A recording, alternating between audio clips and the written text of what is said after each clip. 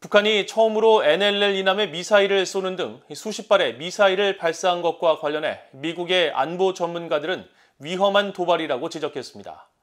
북한이 미한 연합훈련을 구실로 도발을 하고 있지만 한국과 미국으로부터 양보를 얻어내지 못한 절박함과 미한 동맹의 균열을 노린 속내라는 분석이 나오고 있습니다.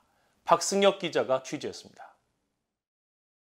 북한이 처음으로 북방 해상 경계선 NLL 이남으로 탄도미사일을 발사한 것은 한국과 미국으로부터 양보를 얻어내지 못한 데 따른 도발이라고 미국 내 전문가가 분석했습니다.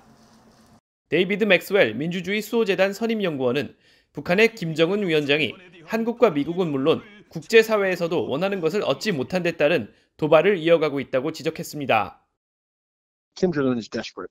Mm. He's been unable to force concessions from South Korea, the United States, and the international community. And since the United States and South Korea will not give in to his demands, uh, that he is conducting uh, provocations. 브루스 클링너 헤리티지 재단 선임 연구원은 북한이 미한 동맹을 균열시키기 위한 도발로 분석했습니다.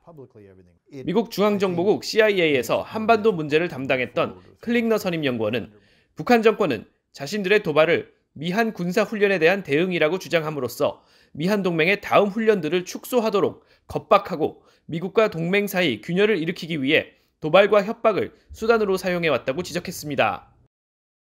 그러나 최근 북한의 행동들은 미국 확장 억제 약속을 포함한 미한일 3국의 안보 공조를 강화시켰을 뿐이라고 밝혔습니다. 패트릭 크로닌 허드슨 연구소 아시아 태평양 안보 석좌는 북한 미사일 연쇄 발사의 규모와 탄착 지점 등을 보면 위험하다면서 특히 북한이 NLL 이남으로 미사일을 쏜 것은 심각한 위반 행위라고 지적했습니다. It's a violation, and it is uh, it's it's very serious. Again, North Korea liked to say that uh, they weren't targeting South Korea. Well, clearly they are targeting South Korea. Uh, enabled to target South Korea. 게리 세이모어 전 백악관 국가안보회의 조정관은 북한이 물리적 타격을 피해서 미사일을 쏘고 있지만 언젠가 계산 착오 등으로 충돌이 일어날 가능성도 있다고 말했습니다.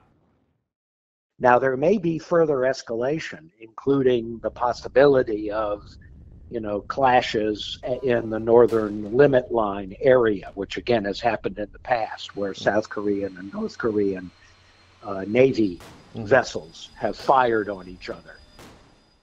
세이모 전 조정관은 그러면서 북한의 무력 시위는 미한 동맹의 비질런트 스톰 연합 공중훈련에 대한 반발로 보이지만 미국과 한국의 연합훈련은 북한이 먼저 도널드 트럼프 전 미국 대통령과 합의한 탄도미사일 발사 유예를 깬 데 대한 대응이라고 지적했습니다.